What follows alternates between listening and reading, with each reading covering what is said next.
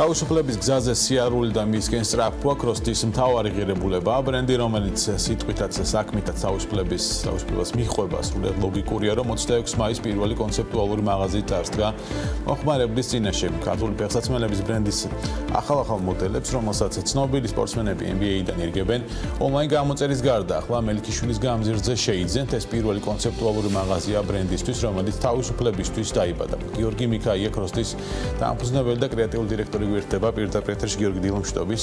მადლობა სტუმრობისთვის. პირველ რიგში გილოცავთ ახალი მაღაზიის გახსნას პირველის. კროსტის ელჩები ყავდათ, რატომ გადაწყვიტეთ, რომ ახლა მოვიდა დრო კონცეპტუალური მაღაზიის შექმნის?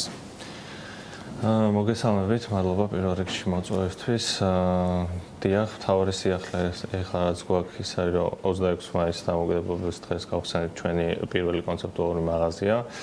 აა მოგეხსენებათ ამ პანდემიის პერიოდში განსაკუთრებით ჩვენ ჩვენ სფეროს დიდი პრობლემები შეექმნა, თქვა აქამდე სტრატეგიულად ჩვენ არ ვფიქრობდით, რომ ჩვენივე ფიზიკური მაღაზიები გაგვეხსნა და შევდიოდით სხვადასხვა მულტიბრენდულ მაღაზიებში.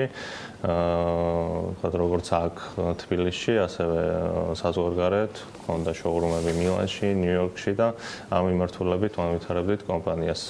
მაგრამ პანდემიის პერიოდის გამო და რიტეილში არსებული პრობლემების გამო მოგვიხდა სტრატეგიის ცვლილება და გადავერთეთ DTC ან direct to customer პირდაპირ მომხმარებელზე ორიენტირებულ სტრატეგიაზე და ვიწყებთ მაღაზიების გახსნას. პირველი რა თქმა უნდა თბილისში უნდა გაგვეკეთებინა, ვინა ბრენდი არის ქართული. და ეს გახსნის დღეც აუცილებლად უნდა ყოფილიყო 26 მაისი. არ დაიფთხა ხო? თბილისი სხვა ქვეყნები იქნება, სადაც კროსის მაღაზიები გაიხსნება, თუ იქნება საქართველოს კიდევ რამდენიმე თუ ერთი იქნება საქართველოს შეაჯერება სტრატეგია როგორ აქვს? საქართველოს იქნება ერთი ერთი და ამის მერე ვფიქრობთ უკვე წლის ბოლოს ვფიქრობთ ერთი მაღაზიის დამატებას იმ ქვეყნებში სადაც საქართველოს ასე თუ ისე იცნობენ ეს არის ესეთეს ქვეყნები და მე უკვე ევროპაზეც ვიფიქრებთ ესეთი ხედვა გვაქვს უახლოესი 1-2 წლის განმავლობაში. ამ პერიოდში ონლაინ გაყიდვები და შოურუმებიდან გაყიდვების თანაფარდობა როგორი იყო პანდემიამდე პანდემიის პერიოდში დაახლოებით თანაფარდობა არის 28% თქვა ფიზიკური მაღაზიაზე, ონლაინს ძალიან დიდი ბუსტი ჰქონდა და პანდემიის პერიოდში დიდი ბუსტი ჰქონდა ონლაინ გაყიდვებში, თუმცა პრობლემა შეიქმნა უკვე მარაგებში შეგვექნა პრობლემა, იმიტომ რომ წარმოებები, მატერიალების წარმოებები გაჩერებული იყო და ეს ცოტა ჩავარდნები ჰქონდა, თუმცა საერთო ჯამში რომ შევაფასო, კომპანიას ძალიან დიდი ბუსტი აქვს და ძალიან კარგად მივდივართ, კმაყოფილები ვართ გამვითარების ტემპით. ინვესტიცია რამდენი იყო ამ მაღაზიაში და დამატებით რამდენი სამუშაო ადგილი შეიქმნა? აა დამატებით შევქმნით 9 სამუშაო ადგილი, დაახლოებით 70000 ევროს ინვესტიცია გამოხორციელეთ. აა და ჯამში მაღაზიის სტარტს ძალიან დადებითად შევაფასებდით. კი ბატონო, როგორია, ასე ვთქვათ, კროსტის მარკეტინგული სტრატეგია არის ძალიან საინტერესო. ანუ მე როდესაც გქონდა საუბარი ლევანთან, მან მითხრა, რომ ფაქტიურად ქართული ბრენდი შემოვიდა, ანუ მარკეტინგულად შემოვიდა საქართველოს სხვა ქვეყნიდან. ანუ ისე დაიგიგმა სტრატეგია, ხო? ეს სტრატეგია ასე ისევ ასე მიდის, ანუ მარკეტინგულ სტრატეგიას რაც შეეხება, როგორია ის კროსტისთვის, იმიტომ რომ 2020 პანდემია იყო, შეიძლება რაღაცები შეცვლილი იყო ამ ეტაპზე.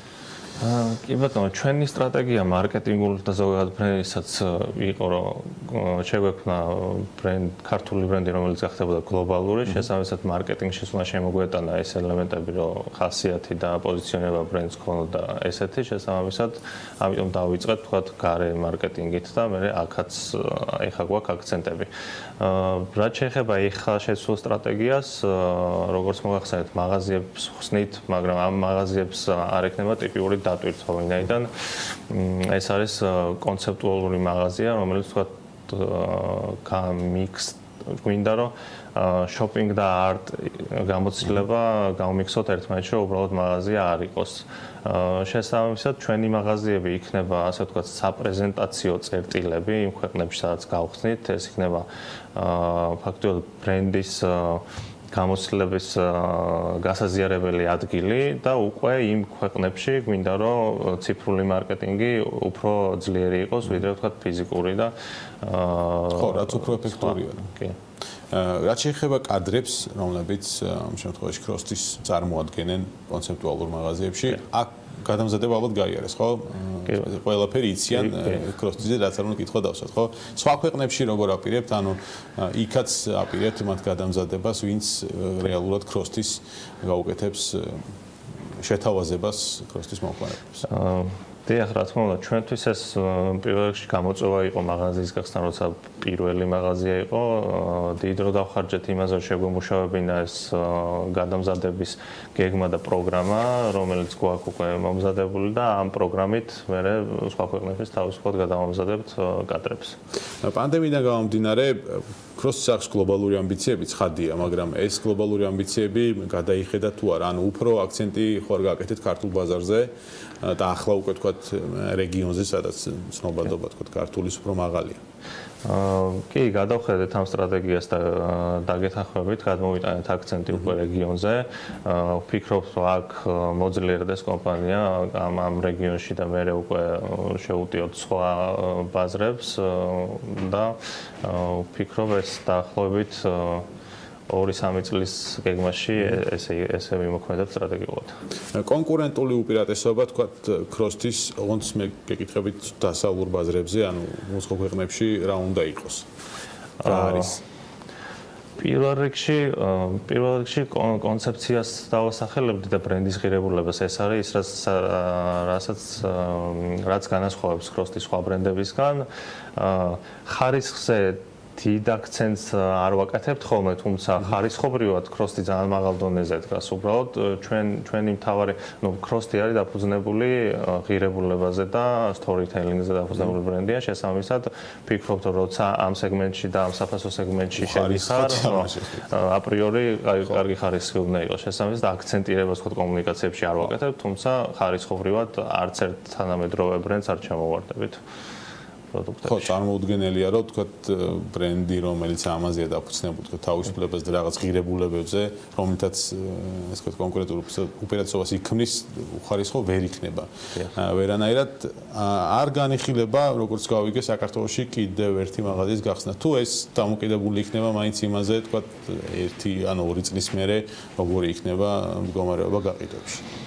შეიძლება აი ბათუმი თუ თბილისში იხსნა მაღაზიას გონია ხომ რომ ბათუმშიც უნდა გაიხსნას კი, სიმართლე გითხრა, არ ვფიქრობთ ჯერჯერობით, მაგრამ აუცილებლად შევხედავთ, თუმცა მე როგორც აღნიშნე, ჩვენი მთავარი გაყიდვების არხი მაინც ელექტრონული კომერცია დარჩება, იმიტომ რომ აა როგორც აღნიშნე, მაღაზიები უნდა იყოს ბრენდის გამოცდილების ხარისხის ვინ ვართ, რა ხასიათი აქვს ამის გადმოცემის წერტილი და მე უკვე უნდა გამოვიტარო ონლაინ დღეს ეს მიმართულება არის ტრენდული, აქ აუცილებლად უნდა მოძლიერდეს ყველა დიდი მოდის ბრენდი გადართულია და რესურსები გადმოტანილი აქვს ელექტრონულ კომერციაზე, რაც ვთქვათ პანდემიის პერიოდმაც დაგვანახა, რომ თურმე ეს ბევრად ეფექტურია და ამაზე ვთქვათ ვისაც ნამუშევარი ქონდა აღარ გაუჭირდა, ხო? და ვისაც არ ქონდა ამაზე ნამუშევარი, რეალურად გაუჭირდა პანდემიის დროს მიწოდების ამბავში. ჩვენ ჩვენ ჩვენ ასე თუ ისე მზად აღმოჩნდით, იმიტომ რომ სანამ ყველაფერი ჩაიკედებოდა, მარაგები უკვე გაკეთებული ქონდა, წარმოება იყო დასრულებული.